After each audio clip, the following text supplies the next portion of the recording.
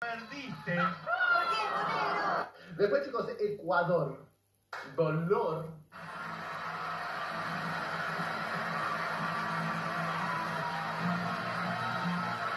Dolor, porque claro, yo